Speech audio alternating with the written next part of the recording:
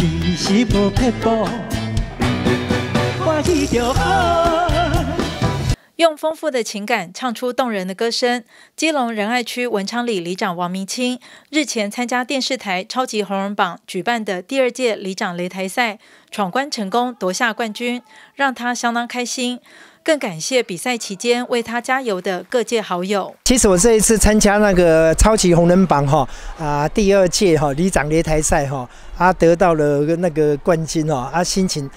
很高兴啊，其实也很紧张，跟一位那个新主那个旅长哈，他也用跟他比的三首。哦，一种足强的歌，甲你比啊，那嘛是爱种足强的，该该能记到啊，啊，所以讲比比赢，那阵心情就哇，超级高兴的。啊嘛，足感谢阮李明吼，就是在比赛期间吼，啊，容易来讲，李长哦，加油哦，加油哦，啊，搁有一寡吼，中部、南部的遐一寡大哥大姐嘛，敲电话来，李长啊，加油哦，加油！你，互我想到我以前少年的时阵的迄个一寡迄个老歌安尼啊，啊，所以非常的高兴，诶，这次的比赛。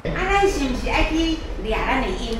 抓咱的音？里长喜欢唱歌之外，也经常投入公益。这次他也受邀到仁爱区乐龄学习中心，向银法志工分享参赛的经验与唱歌的技巧。我这边吼，来这个咱这救国团下加一挂在志工吼，啊跟他们切磋说唱歌的一些技巧，这样啊其实吼，就是讲要人家年长者讲吼，唱歌了后吼，还别讲脑筋退化，因为你记歌词啊，啊个就是讲咱的喙齿别讲安尼一伸进去啊，萎缩啊的啊，啊所以唱歌对咱的身体帮助最大的，啊所以我这边来这家就跟跟他们互相的研究，以研究的心情，啊甲因讲，若要去比赛唱歌啦，啊是讲心情无好啊，唱歌吼，咪会使解除咱的忧郁症。我问天，你爱要唱个后边，讲要飙高音的，但是你头前遐小还降落来，我。问天，我问天，哎，讲了你袂使唱我问天，我问天，